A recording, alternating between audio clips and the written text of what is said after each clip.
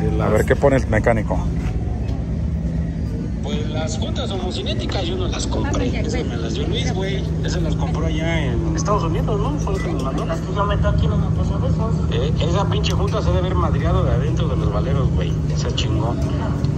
Y las mangueras, pues esas las puso el Jonathan, güey. Y así las dejó, güey.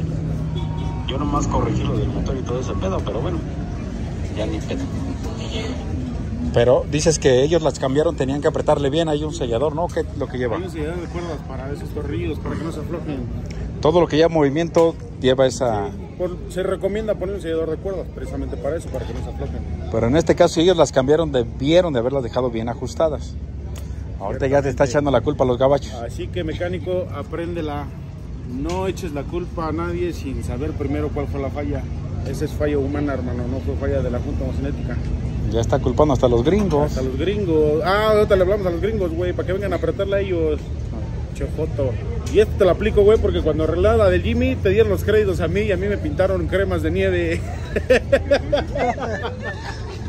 Bueno, vamos a ver si lo aprieta este Axel, que es el chavo de Armando.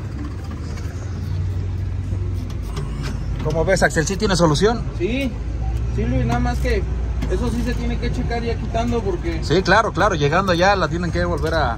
sí, porque tienen dos tornillos salieron dañados, uno se rompió y el otro la cuerda se dañó por lo mismo. Órale. Entonces ahorita nada más vamos apretando los que sirven por ahora, pero eso se tiene que reemplazar. Claro, claro. Para resolver nomás, para movernos ahorita. Sí, para poner todo bien como se debe. Claro, claro. Y la manguera esa por ahí la levantas tantito Sí, para ver qué sí, se puede está hacer. rozando y le voy a dar un calentón al motor. Exacto. Bueno, muchachos, aquí estamos.